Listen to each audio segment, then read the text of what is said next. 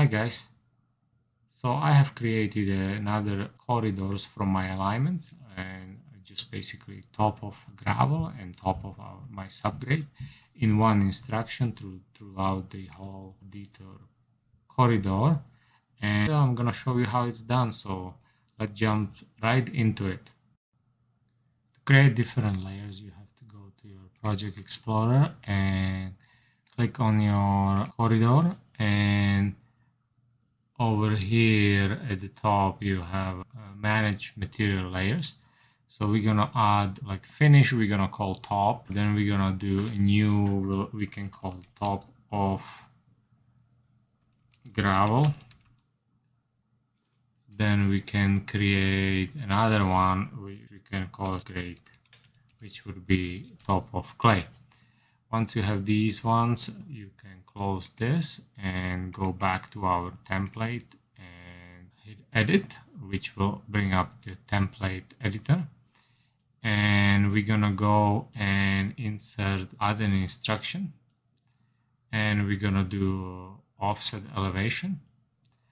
We're gonna hit the node number one offset 0 and elevation delta elevation let's go let's say asphalt of 150 so minus 0.15 we're gonna call that I'll will just keep it and we're not gonna assign anything. We're gonna add it which will create us node number 6 here.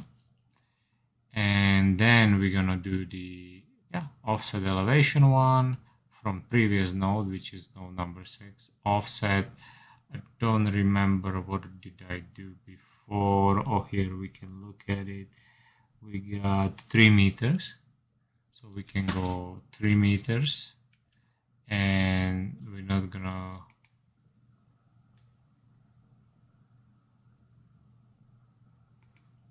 yeah delta elevation means 2%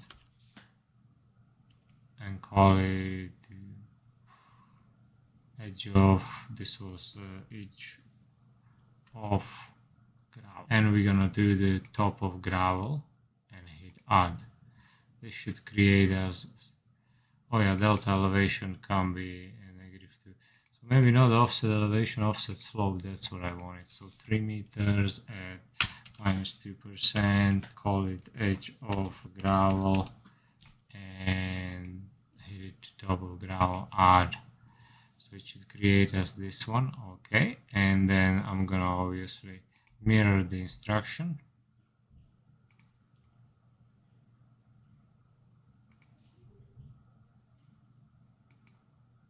Oh it won't let me mirror so I can do instead of previous node I can go back to 6 offset minus 3 meters minus 2% and add which will create my top of gravel. And let's say we need to create one more which would be not gravel yeah which would be basically top of our subgrade. So I'm gonna use the same thing where I'm gonna go to my node number six and I'm gonna go offset elevation zero offset delta elevation. Let's say we have a 300 gravel minus 0.3 and I'm not gonna anything. So this would be node number 9 ooh go back. And not previous node node number 6 so I want to have this. Now here it can be funny. Let's say the, our subgrade is gonna be flat. So we can go and add another instruction uh, where we can go offset elevation at this point previous node is node now offset 3 meters at zero elevation and this will be gonna be our subgrade. Sometimes you cut the subgrade flat and you get the different slope right? Probably not flat. Can go back. But for this example let's just leave it flat. I'm gonna add another instruction where we uh, i'm not gonna go i'm gonna go to node number nine which is my center go negative 3 meters at zero elevation and add it.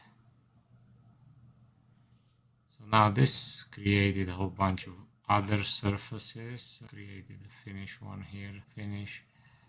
if you have if you clicked on the I think edit no oh, properties sorry if you click on the properties of your properties over here you can see material layer finish if I put in the subgrade it will actually create my subgrade. I can export that and that should be a nice flat surface right? Yeah. This would be top of gravel. So you can go to your and uh, corridor surface and create detail corridor top of gravel and if we did that correctly as you can see it creates top of gravel. And we'll have that level 150 and you can create corridor and not top of gravel but subgrade. And this should add another surface over here and another surface over there. So now you can switch between them whichever one you need. And that's how you can build your additional surfaces so as you can see, this was fairly easy. Hope you enjoyed it and we'll see you next one.